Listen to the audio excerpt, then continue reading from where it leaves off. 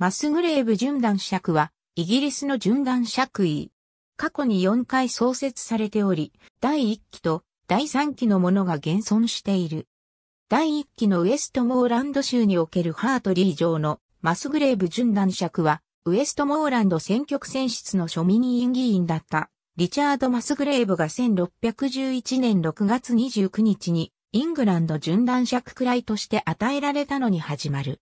以降今日まで彼の男系男子によって継承され、2019年、現在の当主は第15代準男爵サークリストファー・マスグレーブである。ハートリー城のマスグレーブ準男爵家はかつて、ハートリー城を居城とした。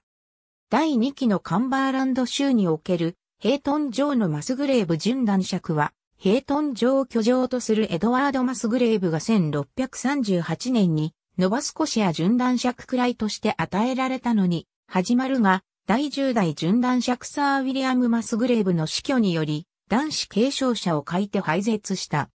第3期のウォーターフォード県における当林のマスグレーブ、準男爵は、アイルランド庶民院議員リチャード・マスグレーブが1782年12月2日にアイルランド準男爵くらいとして与えられたのに始まる。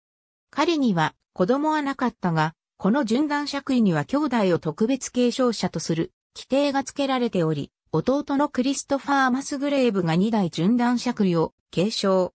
以降彼の男系男子によって今日まで継承されており、2019年現在の当主は第8代準男爵サークリストファーマスグレーブである。